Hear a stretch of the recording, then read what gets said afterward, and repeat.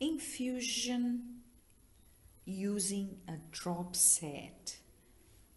So let's read the question. 250 mils, so that's our volume, is to be given over two hours. So let's highlight that, that two hours here. And I can simply translate into numbers, two hours, using a standard giving set, which is translated in the brackets here, but we need to know a standard giving set is always 20 drops to the mil. So for this type of question, we could simply try to use that idea we used uh, with the pump, which means we could say it's our volume in milliliters divided by the time. This time though, because we're not using a pump, we are using a drop set, every time we use a drop set, we have to bring our time down to the minutes. So time in minutes multiplied by the drop set or the giving set, that is always going to be in drops per mil. I'll talk about that in a moment, the drops per mil. So if we were to do this, then this is not using a box method. It's just using the idea of volume over time, volume divided by time. And then using a drop set, we have to multiply by the drop set. So let's see what we would do here. Our 250 mils is the volume over divided by two hours. The problem is as soon as we see drops, we don't want hours we need to change this into minutes. One hour, 60 minutes, two hours, 120 minutes. If we can, we just do it in our heads. If we need to, we use a calculator, but calculations with hours, it would be nice for us to do them in our heads as well. So 120 minutes, so that's what I write here. Cannot use hours when we're talking about drops. Then multiplied by the drop set. The drop set in this case was to be the standard drop set or giving set, and that's the 20 drops to the mil. So just write here 20 drops per mil.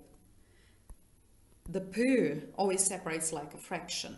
The first part is on the top, the second part is on the bottom. So why do I do it this way? Just so that we can visualize again the cancelling. Look at that. Mils on the top cancel with mils on the bottom. And look at the final answer. Ends up coming out in drops per, who's sitting on the bottom? Minute. So our final answer will be drops per minute. Some people write the PM, drops per minute. So let's do a quick estimate here. 250 divided by 120. Well, 250, half of that would be 125.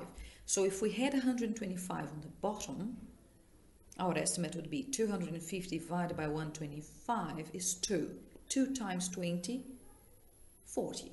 So we are expecting, I'll write it on the bottom here, something around 40 drops per minute. It's not the answer, the accurate answer, but it's our estimate. So then we push the buttons, 250 divided by 120 multiplied by 20. So I get 41 point, and now the calculator will show us lots of digits after the decimal point, and it never stops with sixes. Talking about drops, imagine a drop falling. It cannot be a fraction, it cannot be a decimal number, it cannot be a broken drop so drops are whole numbers, number of drops are whole numbers, and then we can never give an answer like this. We can write it down, it's no problem, but then we have to look at this and analyze. Okay, 41.6, it has to be a whole number, so our breaking line has to be right here at the point. We want either 41 or 42. It cannot be 41.6. Then you do your usual mathematical rounding, because the next digit after the point is a 6. 6 is on the list just with the 5, 6, 7, 8 and 9 that asks us to round up. So instead of leaving it at 41, we are going to say 42 drops per minute. But there is no way we can give an answer with a decimal number or a fractional number to drops per minute. We could do that if we were talking mils per hour, but not drops per minute. So, this is the calculation. We have a few things to talk about here. So let's just go back to a fresh screen. Um, we were talking about the drops per mil. Just to understand that really well, 20 drops to the mil, just what that means. Well, the invisible one that we've been talking about is there. So it's 20 drops in each one mil. One mil, one milliliter is the same as a cubic. Imagine a little box, a cube, all sides, length, width, and height, all the same, and measuring one centimeter.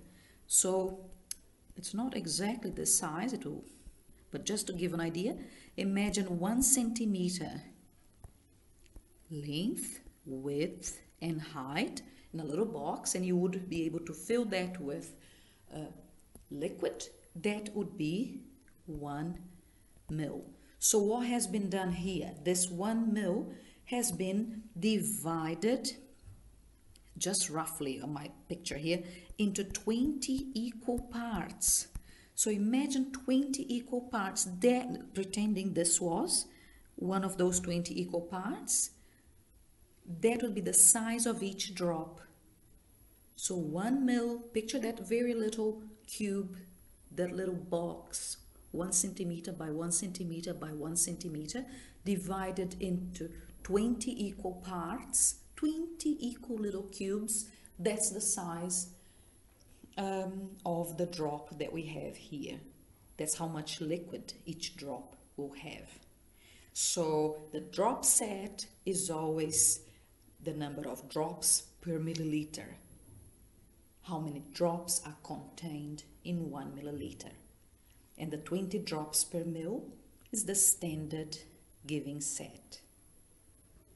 If we were now, going back again, if we were to actually try to solve this calculation using the box method, it would be fine. We would just need to use two boxes. So we would we could get started drawing our box. It's slightly different with the want and the have, but we can use that idea. So we want to infuse, we could say, 250 mils over two hours, which we know is going to be 120 minutes. Because if I see drops, I know I'll have to actually go down to the minutes. And we are using a 20 drop per mil set. So what we could do here first is maybe relate the 250 mils with the 20 drops to the mil. So this 20 drops to the mil is the same as 20 drops per 1 mil. So that uh, orange one could be acting as our want and this purple one here, two pieces of information, is acting as our have. So if we were doing the box, we would say, okay, 20 drops. It's not concentration, but it's just that ratio that we use in every proportional box method in one mil. So that's gone. And if you need to remove that, then 250 mils, yes, I can add that to the box, but not to the top because that's the, place for the drops. I can add it here to the bottom, 250 mils. So we just do the calculation as we would normally do. But look at the main diagonal this time. Because the number that we have sitting on the bottom, the main diagonal is on this side. So we multiply that, 20 drops times 250 mils divided by the third number, which is 1 mil.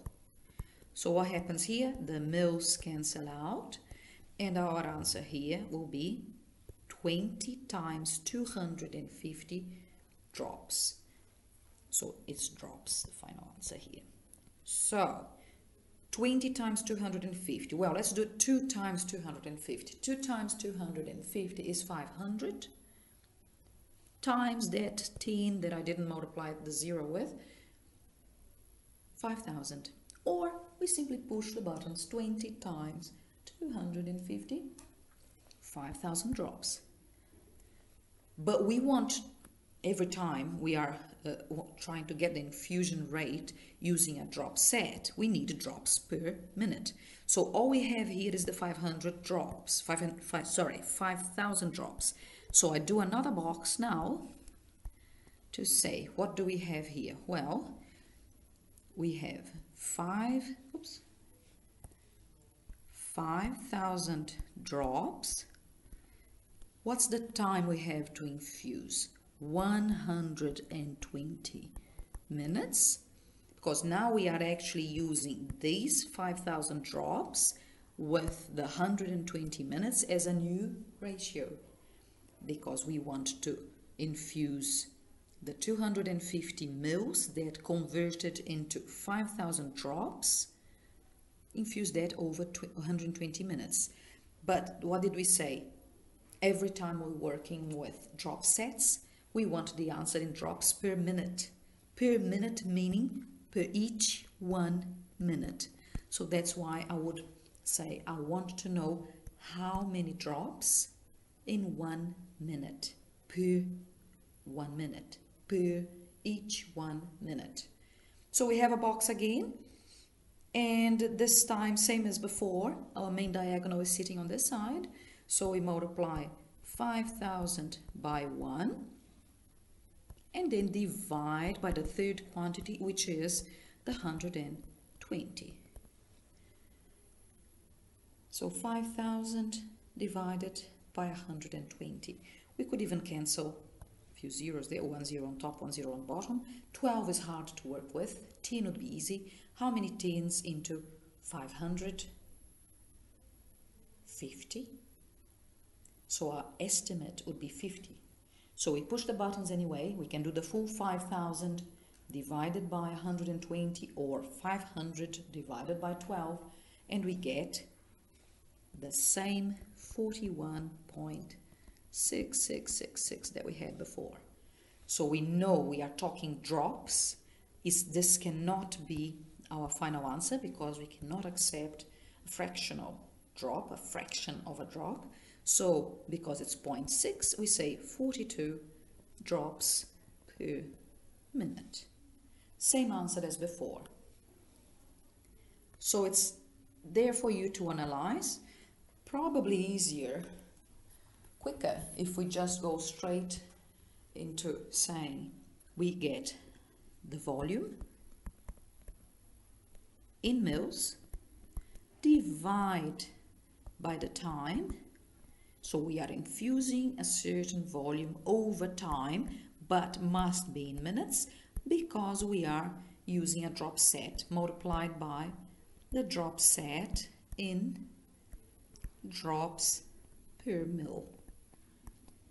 The two boxes take us exactly to the same answer, but this it's just a matter of seeing what will be more natural for you to do. And always remembering that we need a whole number for an answer, for the number of drops. Whole number. We can never have a fractional number for the drops. And the final answer will always be in drops per minute if we are infusing with a drop set, with a giving set.